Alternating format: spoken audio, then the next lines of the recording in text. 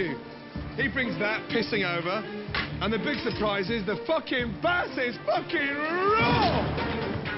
What the fuck is going on?